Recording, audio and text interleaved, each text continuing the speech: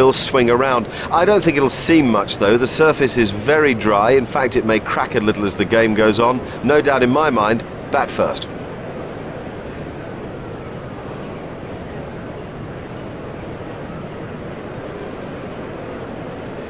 This is a batsman's paradise. It doesn't matter less what the overhead conditions are like. The bounce will be even, the pace will be good. I'm backing a huge score first up. Here's Adam Gilchrist.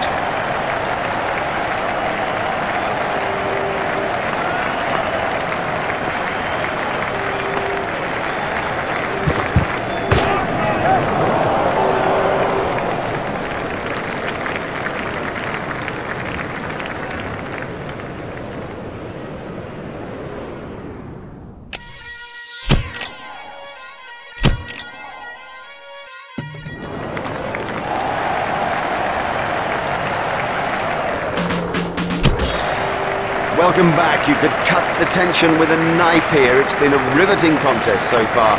Here with the start of the second innings is Richie Benaud.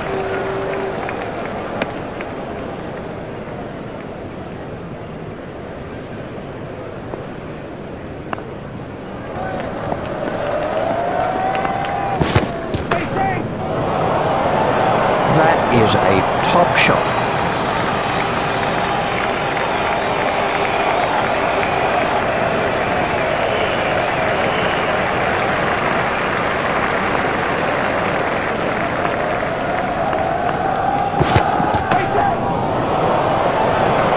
You almost sense how much he loves to thread the ball through the cover region.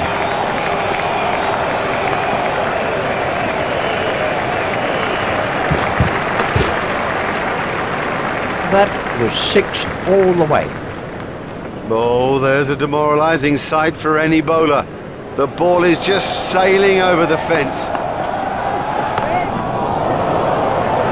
That's in the stands. Six runs. He does score a lot of runs through the covers.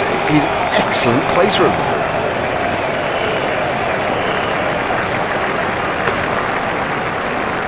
Uh, that was six as soon as he hit it. You can't set fields for a shot like that. Brilliant! And they've wrapped up this limited overs fixture with a great win. They came into the game well prepared and ready to produce the goods, and that's exactly